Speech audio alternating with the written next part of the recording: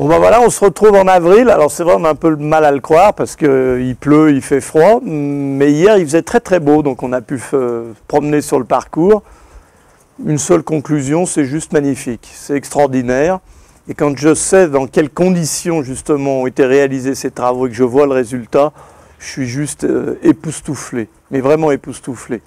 Euh, le parcours est magnifique, il y a de l'émotion quasiment à tous les trous. Personne ne va reconnaître ce qu'ils ont connu dans le passé. Donc c'est vraiment... Euh, on, est, au bout de nos peines, on est au bout du tunnel. Euh, maintenant, il faut que ça pousse. Il reste deux, trois zones à plaquer.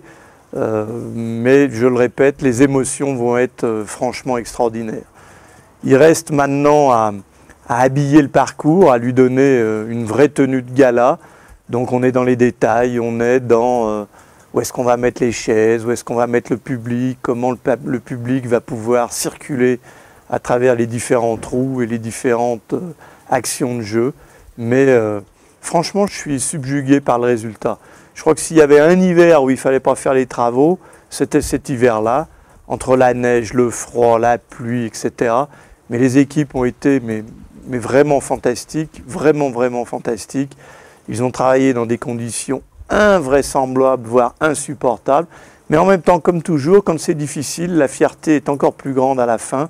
Et, aujourd'hui, on voyait en se baladant hier euh, tous les gens qui ont été sur le chantier tout l'hiver, on, sent cette fierté, on sent euh, cet euh, amour qu'ils ont pour le travail qu'ils ont réalisé. Donc c'est juste fantastique.